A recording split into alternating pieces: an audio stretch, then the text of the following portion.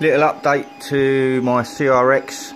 Um, I haven't been able to get around to doing the firmware yet. I'm going to go into Marlin um, and try and sort something out on there because um, TH3D is unsure of when he's going to be released as yet.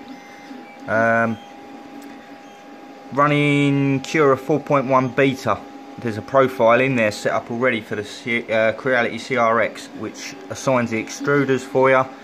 Um, I suggest you go in and edit the um, G code, start G code and end G code for the extruders should you be moving the prime tower.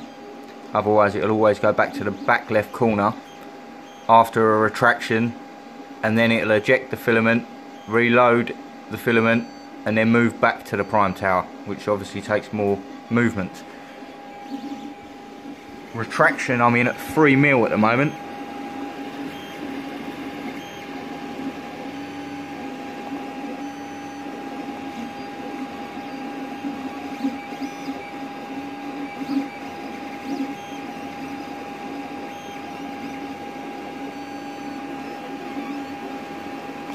you see the little wispy bit at the back corner, the little yellow bit sticking up, that's where it goes to the far back corner of the bed, um, ejects the filament after a retraction, and then swaps the filament. Oh, here we go, it's going to show you. It's unloading one. This is what you have to move. It's going to move to the back right corner of the bed, swap the filaments,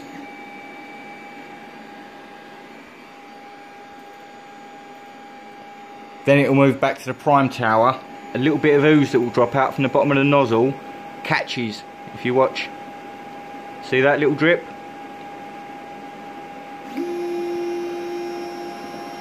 Catches. And that's what gives you the little blobs on the top. So you need to sort that out if you're moving the prime tower unless you're going to have it in that back location.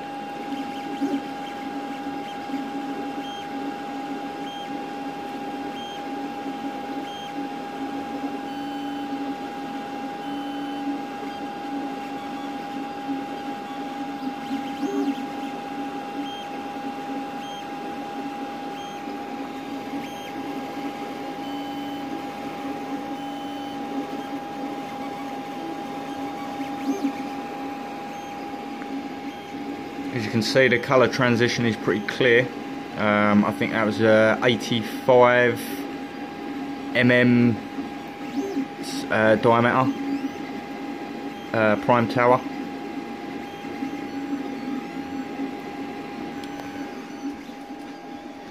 Let me double check. I don't think I got that right.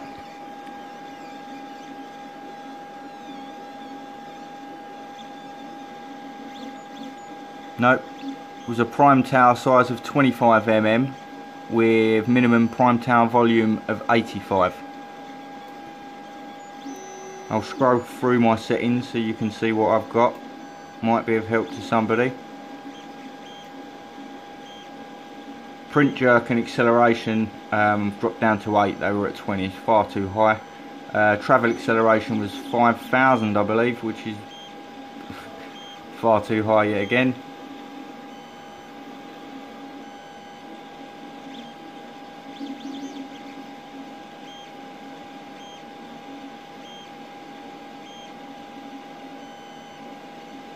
Hopefully I'm doing this slow enough so you can see what's what.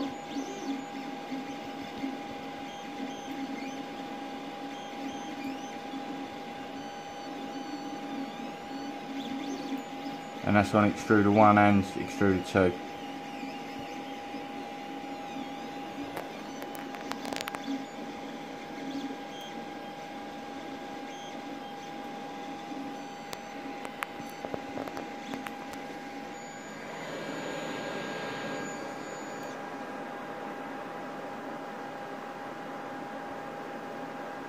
This is where it's doing this. It's just done a retraction to swap the colours.